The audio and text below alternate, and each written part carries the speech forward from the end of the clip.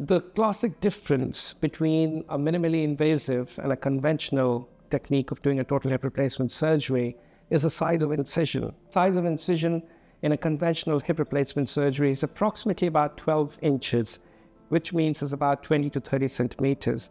In a minimally invasive total hip replacement, the size of the incision reduces to approximately 3 inches, which is less than anywhere between 7 centimeter to 10 centimeter. So with a significant reduction in the size of the incision or the size of the cut which we make, uh, it is also associated with very minimal soft tissue dissection. So the overall trauma to the surgery, uh, trauma to the soft tissues in the surgery is significantly reduced.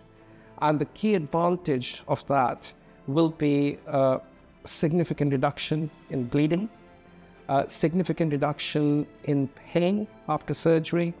It enhances uh, the rate of or, or, the time required for the healing uh, and therefore reduces their time in the hospital, increases the rate of recovery and a faster rehabilitation.